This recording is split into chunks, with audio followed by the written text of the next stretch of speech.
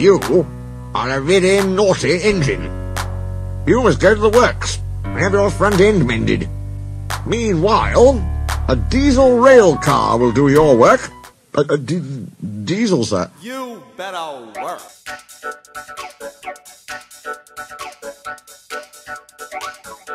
Here is Daisy, the diesel rail car who has come to help while Thomas is, uh, indisposed. Look at me. I'm the latest diesel, highly sprung and right up to date. I'll do just what work I choose, and no more. Stuff and nonsense. It's fitter's orders. Daisy, he says, never, never pull. You're highly sprung, and pulling is bad for your swerves. I can't understand. Whatever made the Fat Controller send us such a feeble...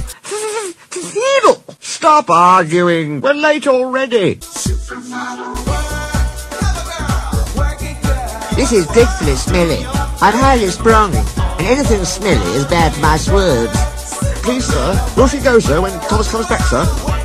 That depends. Meanwhile, however long she stays, I hope you will both make her welcome and comfortable. I see Daisy's left the milk again. I'll have to make a special journey with it, I suppose. Tell you what, I'll take the milk. You fetch my trucks. Look out!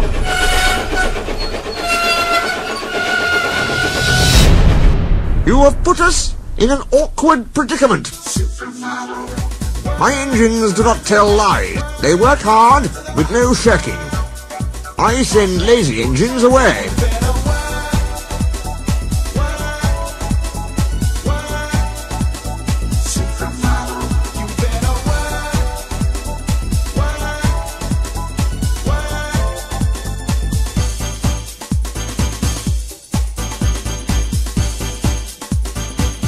Animals always run if you toot and look them in the eye. Even bulls? Even bulls.